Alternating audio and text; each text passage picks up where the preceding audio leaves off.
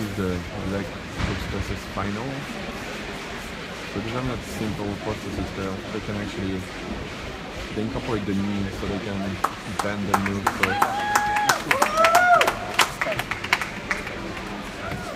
Und wieder saufen Sie los. these guys can move really fast. You have to open the door. Wir haben hier unterschiedliche Then they Techniken. go on some Wir haben ein passives System, ein semi-aktives und eines mit einem aktiven Knie und einem passiven Fuß. Die ganz keine Rolle, unterscheiden wir jetzt noch speziell so genau. you catch the tree with objects and So schnell sind sie bring it back so they cannot use their hands on the way back. And you have to do to up this down. Down very quickly put it on the table.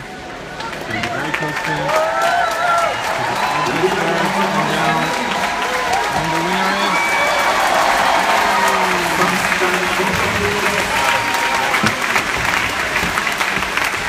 is...